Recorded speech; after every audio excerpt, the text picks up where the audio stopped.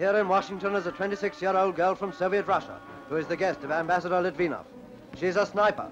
In the war against the Nazis in her own country, she's credited with shooting 309 of Hitler's soldiers. These American girls won't be expected to do quite that, but they're no less determined to put paid to the Axis. 400 of them here are taking the oath as officers. Foreign and domestic. So help me God.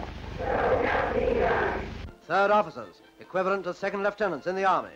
Mind you, they probably think they're a good deal better than second lieutenants. But heck, who doesn't? These are America's Wrens. They call them waves. The uniform is smart, and so is the girl inside it. And after all, it's the girl who counts. Still, a smart uniform gives you plenty of confidence and self-respect.